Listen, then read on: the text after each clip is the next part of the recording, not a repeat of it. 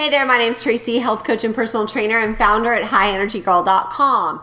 Today, I am going to show you a recipe that I give my clients so that they can avoid the keto flu. I call it Ketolyte. And stay tuned till the end because I'm going to show you how you can pick up my free guide, Kickstart to Keto.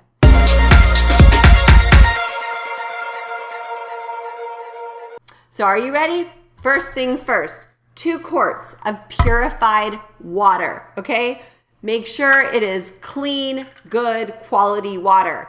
Best choice is a, get a reverse osmosis with an alkaline filter on it so that it can be an alkaline water, even better. Next, we want organic lemon juice, a quarter cup. And this is the best citrus squeezer I've ever seen. So if you have a friend that sells Pampered Chef, they have some great products. And we do a lot of lemon and a lot of lime in this house because we know how good lemon is for you.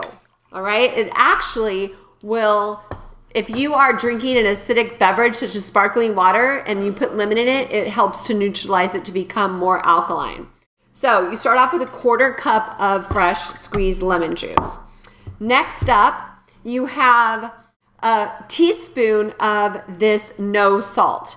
This helps you get your potassium content up high. The best I've seen on the market if you were going to take potassium pills is like 99 milligrams. So at the minimum, you would need 10. But if you do a teaspoon of this, you're going to get or like 2,500 milligrams, which is right in the range for that. So a teaspoon of the no salt for your potassium and then a teaspoon of pink salt for your sodium, and a tablespoon of natural calm, okay, for your magnesium, and a hint of monk fruit, okay? It's going to taste a lot like lemonade. And here is another Pampered Chef concoction or product where you can pump and mix and stir the Keto so that it blends together really, really well.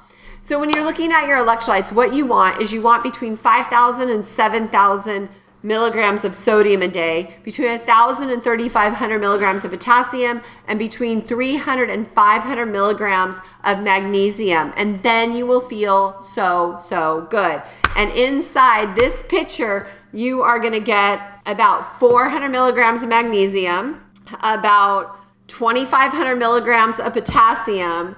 And for the sodium, you're going to get about 1,700 milligrams of sodium, which is a little bit short, okay? But we know that we love to add salt to our food, so you can add salt to make your food bring out the flavor and taste amazing. So let's taste it, see how it turned out. Oh, word of caution. really important word of caution.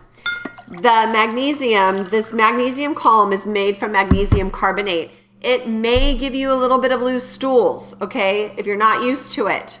So be warned, but some of you guys need that blast off anyway. Mmm, this is absolutely delicious. So there you have it. Um, there will be a link below the video where you can go ahead and hit that link and get my Kickstart to Keto guide, which will have this recipe in it for you. So thanks so much for watching. If you have any questions, please post them below. And if you like the information, please share it with a friend. Give us a like and subscribe so that you can catch our next video. Bye for now.